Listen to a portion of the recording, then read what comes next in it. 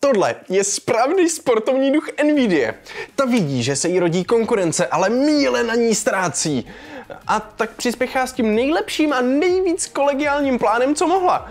Tím, že vydá takovou grafickou kartu, která bude pro všechny zcela nebratelná a díky čemuž dostane konkurence větší šanci. To je vončo. Woohoo! Vítejte u recenze RTX 4060. Jíha!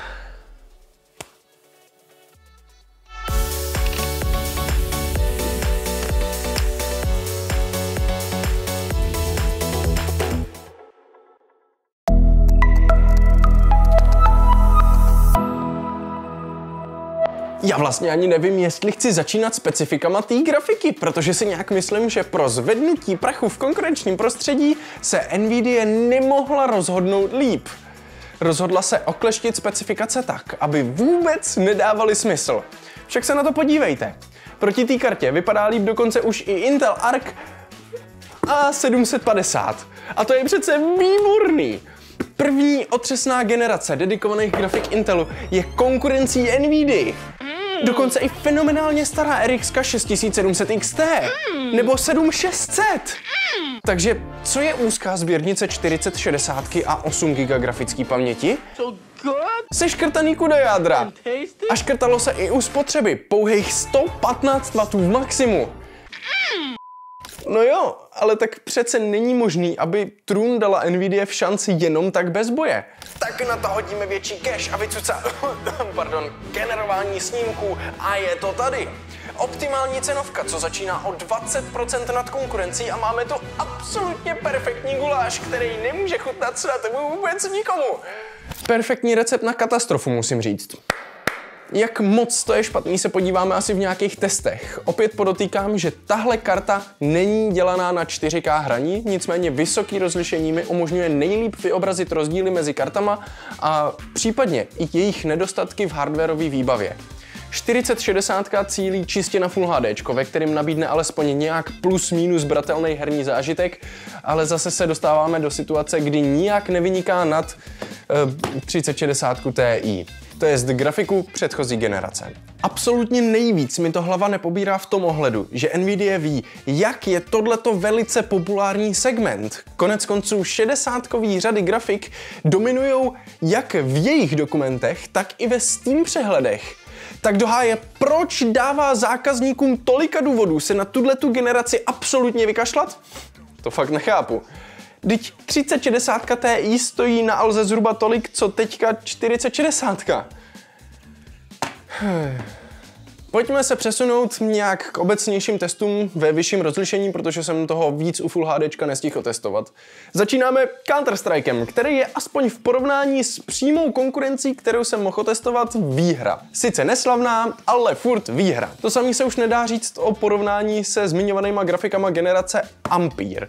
Kor, když na ně ztrácí, jak už z předchozího videa asi nějak víte, i 4060 TI. A to chci podotknout, že ztráta u 1440p je ještě dost míru milovná. U 4K se fakt těší nepříjemnému propadu, kde najednou i Radeonka předběhla Ada Lovelace grafiky. Z dalších kompetitivních titulů se můžeme bavit o třeba Formuli 1, u který se u 1440p na Ultra dostane sotva přes 50 obrázků za vteřinu, zatímco 60 fps přeskakuje už tak za mě hloupě naceněná 4060 Ti. A 4K vypadá tak, jak vypadá. Dying Light 2 aspoň přešplhá přes 70 obrázků za vteřinu, nicméně to dokáže u tohoto titulu i ARC 750. Asi jediný štěstí pro 4060 je, že třeba Shadow of the Tomb Raider je už starší titul, takže u něj si drží alespoň příjemných 96 snímků i na maximální detaily při 1440p. 4K se už zase stává podstatně náročnější a zejména kvůli úzký sběrnici padá zase k hranici A750, která zejména v tomhle titulu by na 4060 měla ztrácet podstatně víc. Obdobně příjemný herní zážitek nabídne i Assassin's Creed Origins s průměrem na 93 u 1440p. A je to tolik, že už to skoro dosahuje i na grafiky předchozí generace. To je paráda, co?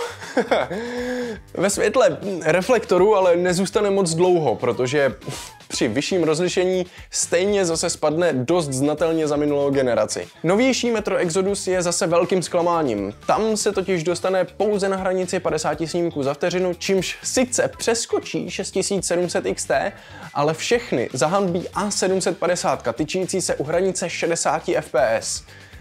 Já fakt nějak nedokážu uvěřit tomu, že by se Nvidia nechala zahnat do kouta Intelem. Vždyť i Watch Dogs Legion vypadá, že tam prostě Nvidia vzala svých pět švestek a odevzdaně řekla, že zájem o tuhle tu část trhu prostě nemá. Nebo já nevím, jak si to mám jinak vysvětlit. Ten samý příběh se totiž nechá čekat u píchy Nvidia a demonstrace veškerých vykreslovacích technologií Cyberpunku. Tam je 4060 za oběma konkurentama. Jak je tohle možný? Že nemám zaplay ray tracing? Ah, sorry, jsem zapomněl.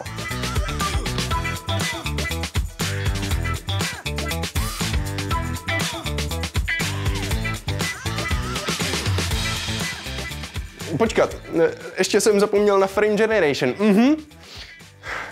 Mně pomalu docházejí slova. Ne, není potřeba hrát vždycky na nejvyšší detaily, ale víte co?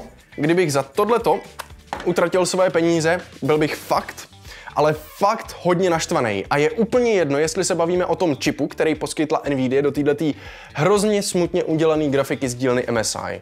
Za skoro 8 tisíc dostanete maličkou kartu, která cucá jenom o kousek míň energie jak 4060 Ti, zatímco ale dodává podstatně míň výkonu.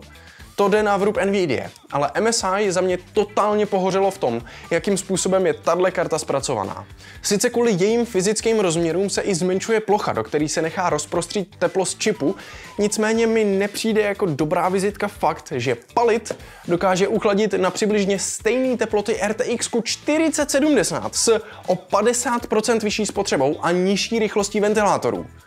Nevím, jestli ze mě mluví obecná zkušenost s Ventus kartama, kdy jsem s nima vždycky byl víceméně otrávený, anebo spíš, jestli tahle ta karta je fakt špatná. Na mém stanovisku, že byste se tomuhle tomu kombu 4060 a Ventusky vyhnout měli jako čert kříži, se ovšem nic nemění.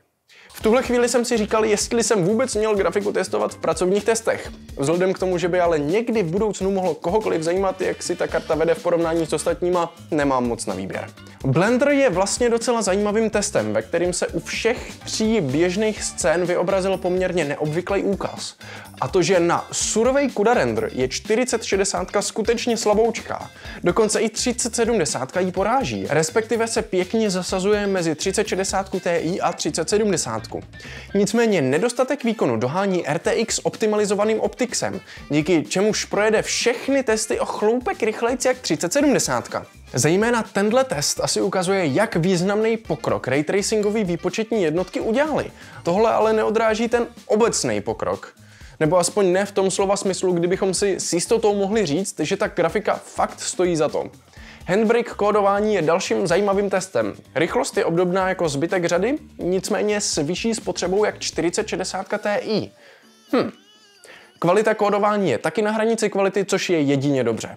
V případě, že bychom se ale měli bavit o reálné práci a programech, který závisejí na výkonu grafické karty, bude za mě tahle grafika spíš zklamáním. A to především proto, že nabídne u velkého množství testů zcela zanedbatelný nárůst, pokud vůbec nějaký. A to fakt nedokážu říct, že by mělo smysl. Luxmark je dalším z testů, kdy ta karta odvedla práci, která je ale v porovnáním se zbytkem jaksi málo. S tím, že málo mi přijde vlastně veškerá snaha NVIDIA u této generace. Pamatuju si, jak jsem koncem roku 2020 byl nadšený z nárůstu výkonu u třicítkové řady. A to s tím, že dneska tyhle grafiky jsou ještě podstatně levnější jak ty, co jsem dva a půl roku zpátky recenzoval. A dneska bych byl naprosto nadšený za výkon 4060 za zhruba 8000.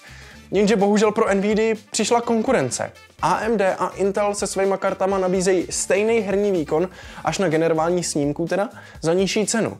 A to prostě nedokážu nějak obhájit. Ten rozdíl v ceně od nějakých 8 po 30%. A tam se Nvidia obrací ke spotřebě, kde musím za sebe říct, že to mi vlastně dělá radost. 4060 za mě teda zdaleka není tak účinná na svůj výkon jako zbytek série, ale nad tím jsem v kontrastu s ostatními aspektama ochotný přimhouřit oči. Nicméně fakt, že Nvidia tvrdí, že za 4 roky hraní proti 3060 Ti ušetříte i 250 kWh elektřiny, je sice moc pěkný tvrzení, ale za to já opravdu nedokážu opodstatnit, že by někdo měl utratit nějakých 8000, aby za 4 roky ušetřil přibližně 12 stovek. To je čistý alibismus Nvidia. Nic víc. Jenom snaha okecat něco, za čím si ani sami pořádně nestojíte a od prvního dne máte připravený výhovorky proč tohle a tamhle to. Tahle Ventuska měla stát u vypuštění nějakých 6, možná 6,5 tisíce. 4050 by měly stát třeba 4, 4,5 s tím, že TIčka by měly vyplnit ten prostor mezi tím. Nikdo neví, jestli vůbec něco takového bude, ale to mě vlastně vůbec nezajímá. Pokud máte starší grafiky a hledáte upgrade za cenu přibližně 8000, bych se 4060 vyhnul. Tečka. Pomyslnou tečkou z vaší strany může být palec na video. Nezapomeňte se přihlásit k odběru kanálu, aby vám podobný technologický videa už neutekly. Dík moc všem připojeným legendám za podporu a NVD za tenhle ten sample, protože ačkoliv už je to to, co to je, tak proto stejně nějaký využití najdu. Z mojí strany všechno, pokud vás cokoliv zajímá, najdete to v popisku dole a já se na vás budu těšit zase u dalšího videa. Mějte se pěkně a zatím páčko.